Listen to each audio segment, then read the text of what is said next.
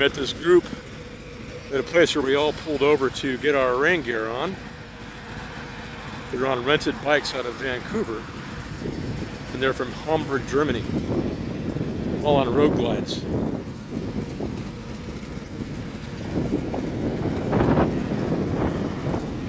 They stopped to uh, gear up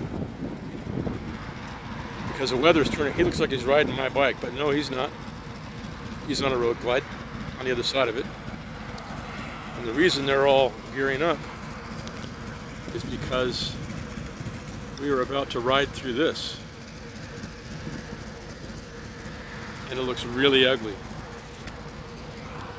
So I too am gearing up and battening down the hatches, and I'll talk to you on the other side.